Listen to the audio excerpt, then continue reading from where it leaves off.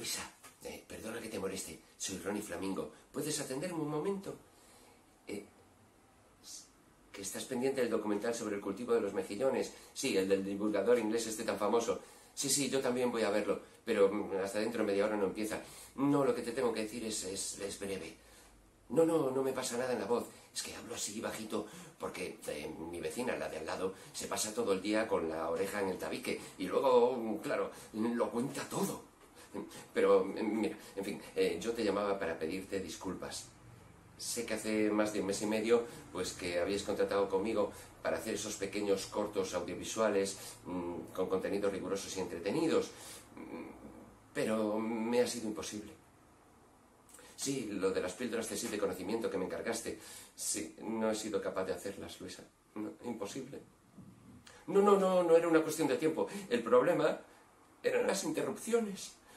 Sí, por ejemplo, la abuelita del piso de abajo que vive sola con su planta, pues no paraba de encargarme cosas del súper y claro, no podía negarme. Y después cuando yo me ponía a trabajar en ello, pues ya tenía mi folio en blanco preparado en la mesa para empezar, pues el hijo del vecino de arriba, pues se ponía a hacer dólmenes. Dólmenes, Luisa, y sin parar. Sí, sí, luego, pues decidí moverme al cuarto que da al patio interior, eh, pero sí, quería estar más tranquilo, pero entre la cantautora del ático ensayando todo el día, viva voz, y el, y el militar retirado del primero B dando el menú de cada día con voz de mando, pues imposible concentrarme. Te digo que este edificio es una locura, Luisa.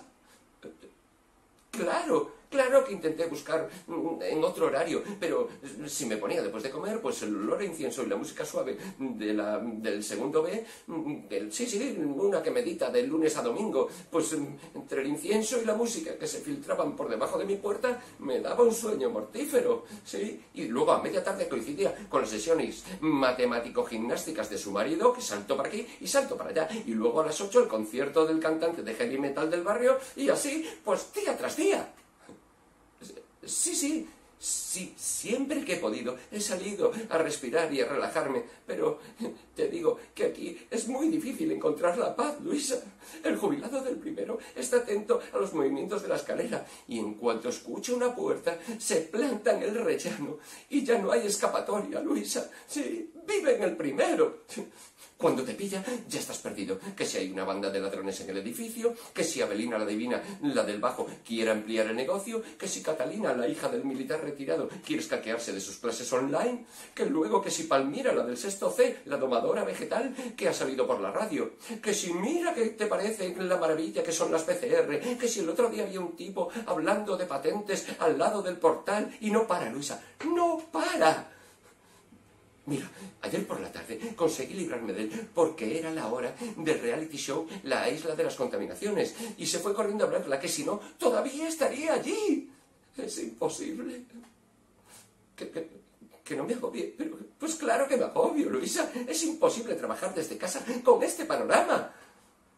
Paz y consuelo, paz y consuelo. Eso solo lo consigo cuando escucho mi música. Sí, sí, la música que me gusta. Recatana, mm, Shooting Star, eh, Maricada Foz, con su foliada polar del CSIC. El caso es que no he cumplido la misión que me habías encomendado, Luisa. No he podido hacer las píldoras CSIC de conocimiento. Lo siento. Si no volvéis a contar conmigo en el futuro, lo entenderé. Que hay quien me considera el mejor cómico del hemisferio norte. No sé si será demasiado, Luisa. Interpretaciones sublimes y gran versatilidad de registros. Uno de los máximos exponentes a nivel mundial del síndrome de Mortadelo.